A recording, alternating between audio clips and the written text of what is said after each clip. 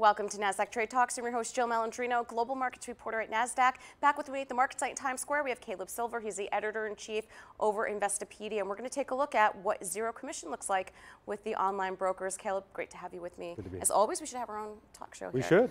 All right, let the, you know, this is a big topic of conversation, whether it's at a bar, in a cab, conferences, what this new environment looks like because the brokers, not just with going to zero commission, but their landscape has changed dramatically over the past couple of years. Right. It's been a big change and an evolution, but the last two weeks has been a tectonic shift in the world of online brokers, with many of them, the biggest, going to zero commissions for trades. And that's a big deal because what they want to do, what brokers want to do, even what the NASDAQ wants to do, is reduce friction between the investor and uh, the stocks they want to buy or the securities they want to buy. Price was an issue for some of them, but price has been coming down over the last few years, as you just suggested, all the way down to $4 a trade, $2 a trade, Robinhoods of the world, $0 per trade. Now that the big brokers are doing this, the landscape has really shifted. Well, how will brokers make up their revenue? And I would have to imagine that they have modeled this out, and this wasn't a surprise to many of them. Um, and a lot of the online brokers, they've really been in the business of collecting assets over the past couple of years. Yeah. So, what does this look like for them? Well, it depends on your business model. And you can look at how the, the market reaction when these announcements came out in the last couple of weeks to see who might be getting hurt the most. So Schwab is a, one of the biggest brokers. It's got about $5 trillion in assets under management.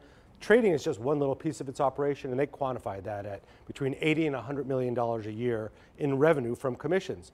They did $10 billion last year, so it's a small drop for the Schwabs of the world, for the TDAs of the world, for the E-Trades of the world that are more trading focused. This is a bigger part of their profits, um, so it's going to hurt them a little bit more. But online brokers make money through order flow, so taking a bunch of different trades, packaging them together, sending them out to a custodian or to another uh, house to do the trade. They get paid for order flow, and a lot of them, like Schwab, like Fidelity, are really banks. So they get paid on the cash you have that is not invested in securities. It's basically interest that they can earn any way they can with their free with the free cash that they have sitting on the sideline until you put it to work. So the TDs and the E-Trades of the world, they'll be thinking that with free commission, they'll get more volume, and they'll make it up with the order flows there.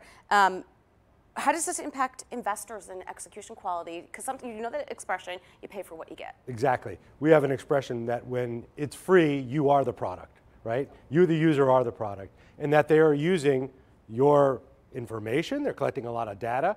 Uh, to who knows how they'll use that? They're using it um, for price discovery. They're seeing what people are trading.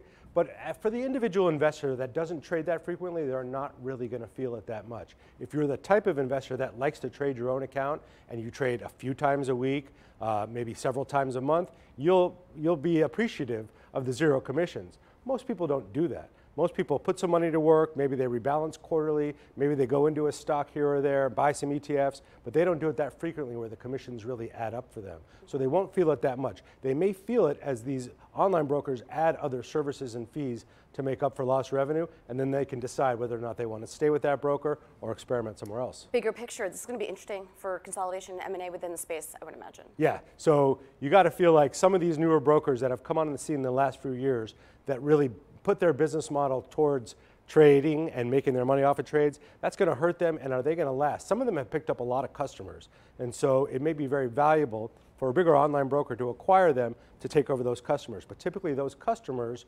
are, uh, don't have as much investable assets um, and don't trade that frequently. So the value of the customer is a big deal and the smaller brokers that have come out in the last few years with the most valuable active customers are going to be the ones that are the ripest targets. This is going to be interesting to watch. Thank you so much as always, Caleb. Thank you. And thank you for joining me on Trade Talks. I'm Jill Malandrino, Global Markets Reporter at NASDAQ.